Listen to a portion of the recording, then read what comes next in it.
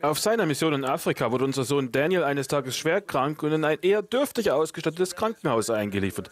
Im ersten Brief nach seiner Erkrankung erwarten wir Mutlosigkeit, doch stattdessen schrieb er, sogar in der Notaufnahme verspürte ich inneren Frieden. So beständig und unverwüstlich glücklich war ich noch nie. Meine Frau und ich waren sehr gerührt, als wir diesen Satz lasen beständig und unverwüstlich glücklich. So eine Beschreibung von Glück hatten wir noch nie gehört, doch sie schien stimmig. Uns war klar, dass das von ihm beschriebene Glück nicht einfach bloß Wohlbehagen oder ein Stimmungshoch war. Er sprach von dem Frieden und der Freude, die sich einstellen, wenn wir uns Gott überlassen und in allem unser Vertrauen in ihn setzen. Auch wir hatten schon erlebt, dass Gott unsere Seele Frieden zusprach und uns Hoffnung in Christus schenkte, selbst in schwierigen, ungewissen Zeiten. Lehi erklärte, wären Adam und Eva nicht gefallen, wären sie in einem Zustand der Unschuld verblieben und hätten nicht Freude gehabt, denn sie kannten kein Elend. Aber siehe, alles geschah gemäß der Weisheit dessen, der alles weiß. Adam fiel, damit Menschen sein können und Menschen sind, damit sie Freude haben können. Auf eher paradoxe Weise versetzen uns Bedrängnis und Kummer in die Lage, Freude zu empfinden, vorausgesetzt, dass wir dem Herrn und seinem Plan für uns Vertrauen schenken. Diese Wahrheit wurde von einem Dichter des 13. Jahrhunderts äußerst beredt zum Ausdruck gebracht. Leid ist dein Wegbereiter zur Freude. Ungestüm fegt Leid alles aus deinem Haus, auf das neue Freude darin Raum finde.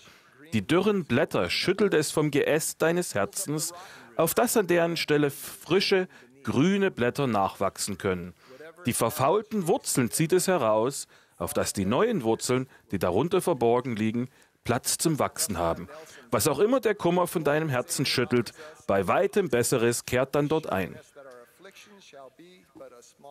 Der Prophet Lehi bestätigte seinem Sohn Jakob, dass Gott ihm, Jakob, seine Prüfungen und Bedrängnisse zum Gewinn weihen werde, dass also seine Prüfungen und Bedrängnisse Raum für größere Freude schaffen könnten. Die frohe Botschaft des Evangeliums besteht nicht darin, dass uns ein Leben frei von Kummer und Mühsal zugesagt wird, sondern darin, dass das Leben Sinn und Zweck hat. In einem derart sinnerfüllten Leben können Kummer und Bedrängnis in der Freude über Christus verschlungen werden.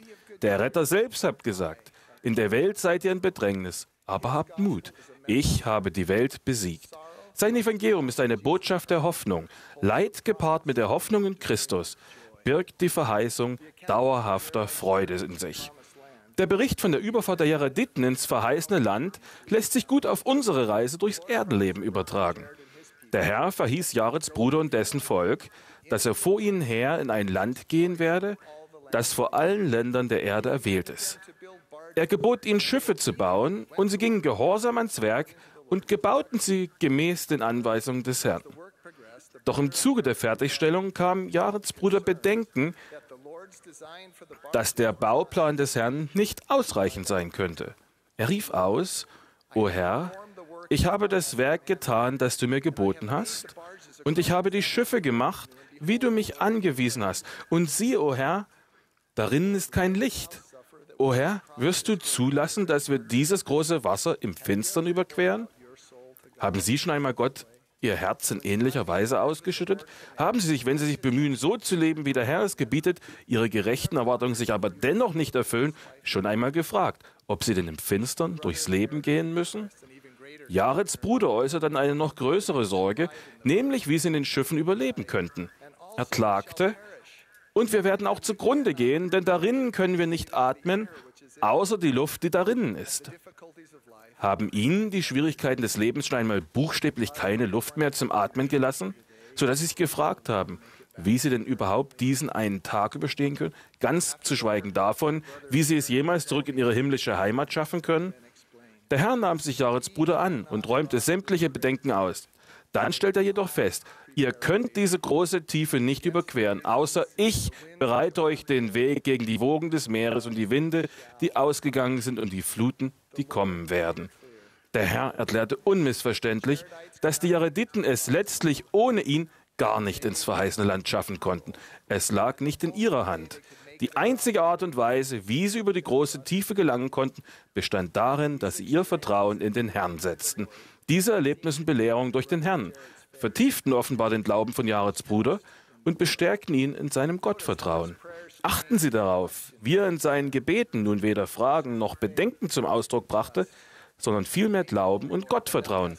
Ich weiß, o oh Herr, dass du alle Macht hast und zum Nutzen des Menschen tun kannst, was auch immer du willst. Siehe, o oh Herr, du kannst dies tun. Wir wissen, dass du imstande bist, große Macht zu erzeigen, die dem Verständnis der Menschen gering erscheint. Den Aufzeichnungen zufolge begaben sich die Jarediten anschließend an Bord ihrer Schiffe und fuhren hinaus auf die See, indem sie sich dem Herrn, ihrem Gott, anempfahlen. Anempfehlen bedeutet so viel wie anvertrauen oder überantworten. Die Raditen bestiegen die Schiffe also nicht etwa, weil sie im Detail gewusst hätten, wie die gesamte Reise verlaufen werde. Sie gingen vielmehr an Bord, weil sie gelernt hatten, der Macht, Güte und Barmherzigkeit des Herrn zu vertrauen und daher gewillt waren, sich selbst und jegliche Zweifel oder Ängste dem Herrn zu überlassen. Neulich hatte unser Enkel Abe Angst davor, auf ein Karusselltier zu steigen, das sich auf und ab bewegte. Er wollte lieber auf einem Tier sitzen, das sich nicht bewegte. Seine Großmutter überzeugte ihn schließlich davon, dass es eine sichere Sache sei, und weil er ihr vertraute, stieg er auf das Tier. Dann sagte er breit lächelnd, ich fühle mich zwar nicht sicher, aber ich weiß, dass ich es bin. Vielleicht ging es den Jarediten ebenso. Gott zu vertrauen mag zuerst nicht immer mit einem Gefühl der Sicherheit verbunden sein, doch darauf folgt Freude. Die Fahrt der Rediten war beileibe nicht einfach. Oftmals wurden sie in den Tiefen des Meeres begraben, wegen der Wellenberge, die über sie hereinbrachen. Dennoch hörte der Wind nie auf, sie zum verheißenen Land hinzublasen. Einleuchtend ist es nicht unbedingt, besonders wenn wir stark im Gegenwind und stürmischer See ausgesetzt sind. Und doch können wir Trost finden in dem Wissen, dass Gott in seiner grenzenlosen Güte uns immer in Richtung Heimat bläst. Und weiter heißt es, so wurden sie hingetrieben und kein Meeresungeheuer konnte sie zerschmettern. Auch kein Wal konnte ihnen etwas anhaben. Und sie hatten beständig Licht, sei es über dem Wasser oder unter dem Wasser. Wir leben in einer Welt, da riesige Wellenberge wie Tod, körperliche oder psychische Erkrankungen und aller Art Prüfungen und Bedrängnisse über uns hereinbrechen. Doch wegen unseres Glaubens an Jesus Christus und unseres Vertrauens in ihn können auch wir beständig Licht haben, sei es über dem Wasser oder unter dem Wasser. Wir können zuversichtlich sein, dass Gott niemals aufhört, uns in Richtung himmlische Heimat zu blasen. Während die Erediten in den Schiffen umhergeholfen wurden, lobsangen sie dem Herrn und dankten dem Herrn und priesen ihn den ganzen Tag lang. Und als die Nacht kam, hörten sie nicht auf, den Herrn zu preisen. Selbst inmitten ihrer Bedrängnisse waren sie froh und dankbar. Sie waren noch gar nicht im verheißenen Land angekommen, und doch freuten sie sich dank ihres beständigen und unverwüstlichen Vertrauens in den Herrn bereits an der verheißenen Segnung. 344 Tage lang wurden die Jarediten auf dem Wasser dahingetrieben. Können Sie sich das vorstellen? Dem Herrn zu vertrauen bedeutet auch, seinem Zeitplan zu vertrauen und erfordert Geduld und Ausdauer die die Stürme des Lebens überdauern. Zu guter Letzt landeten die Jarediten an der Küste des verheißenen Landes. Und als sie den Fuß auf die Küsten des verheißenen Landes gesetzt hatten, beugten sie sich auf dem Antlitz des Landes nieder und demütigten sich vor dem Herrn und vergossen Tränen der Freude vor dem Herrn wegen seiner liebevollen, großen Barmherzigkeit für sie. Ich denke, die Schiffe können sinnbildlich auch für die Sündemacht Jesu Christi und die Verheißung seines Bundes stehen.